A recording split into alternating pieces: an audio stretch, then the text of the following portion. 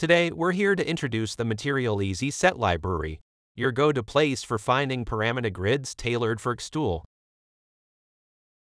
To get started, connect your machine and head to the Processing tab. Here, unfold the material list and click on More to enter the Easy Set library. Then select your connected machine, then pick the material you're working with. Move on to the Detail page. Choose your processing type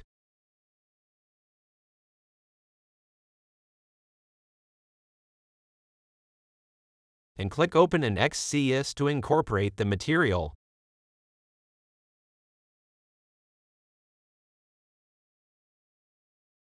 Open the Easy Set panel. You'll see the preview grid.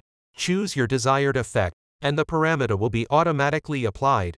For future projects, you can access the material directly from the Easy Set panel without entering the web